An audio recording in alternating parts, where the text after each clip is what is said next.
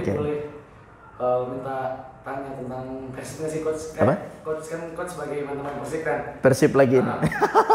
kan coach waktu itu pernah memberikan dukungan ya kepada Luis Milla yakin Ah. bahwa uh, optimis tapi tiba-tiba Luis Milla Mm-mm. uh, hengkang coach kira itu seberapa besar tekanan memang di Persib tuh apa coach pernah pernah berseragam Persib ya itu Ah. emang besar coach uh, memperkuat per- apa berseragam Persib tuh ada tekanan coach apa gimana coach Iya. kalau di Persib itu coach Iya, kalau saya sih melihat eh, keputusan yang diambil oleh eh, apa coach Luis Milla ini ya keputusan yang menurut saya bukan pure dari eh, dia menyerah, ya kan?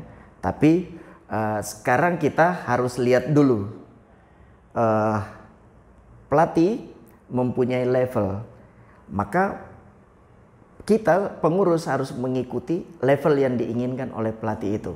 Seperti dia pingin pemain karakter seperti ini dan ini, ini harus di- diambil ini ya. Kan pelatih punya punya pandangan tersendiri. Nah ini yang saya belum tahu ada apa dengan dengan dengan eh, Persib saat sekarang ini. Tapi melihat dari perjalanannya eh, Persib, kekurangannya adalah eh, komunikasi mungkin Komunikasi dalam tim coach di dalam tim dan di luar juga. tapi cukup mengejutkan berarti coach ya? Gimana? melihat, uh, keputusan Luis Milla tiba-tiba hengkang gitu coach? Ya karena kaget gitu coach? ya karena dia pelatih yang yang memang bukan baru mau membentuk tim. Dan Luis Milla bekerja baru berapa tahun sih ya kan? Dibanding apa yang sudah dilakukan oleh pelatih sebelumnya. Ya kan? Mungkin dia lebih banyak waktu ketimbang eh, coach Luis Milla ini nah sekarang pertanyaannya apakah yang diinginkan pemain-pemain yang diinginkan oleh coach Luis Milla itu sudah uh, dituruti atau tidak kan kita tidak tahu. Jadi kalau mau dibilang apa kualitas coach Luis Milla wah dia pelatih kualitas kan gitu.